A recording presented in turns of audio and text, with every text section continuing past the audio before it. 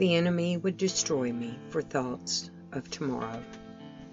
When regrets of yesterday tear me down, walking in dark shadows, doubting the sun will shine brightly again. Clouds surround my aching heart, and like a rainbow after the rain, His promises flood in, and my lungs fill with a new breath of hope restored. I have today, only this day. He will carry me through the pain of bruised heels and aching joints from this journey through the wilderness. Today, I can see that you also hide your pain filled heart behind a bright smile and hopeful words. I can encourage you with this hope I've been given. As I recount the days of anguish and sorrow and how the kind shepherd has kept me, the times he made me lie down in green pastures, the moments of my soul restored, the fears that have dissolved because he was with me. Today, I only have today.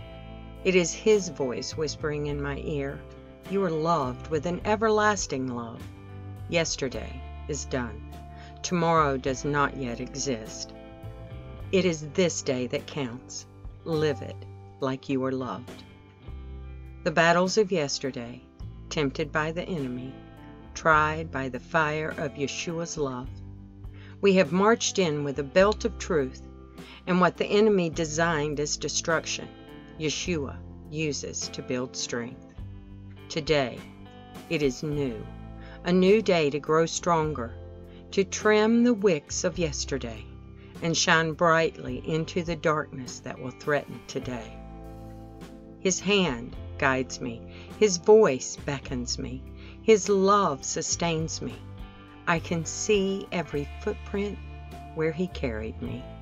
Today, I will not fear, for His promise to be with me through it all has never been broken. I can trust Him. You can trust Him. He is true.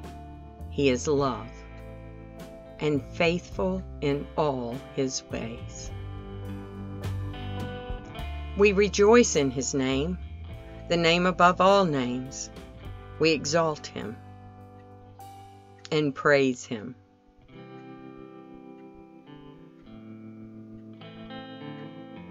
Rejoice and worship the one who reigns and has power over heaven and earth.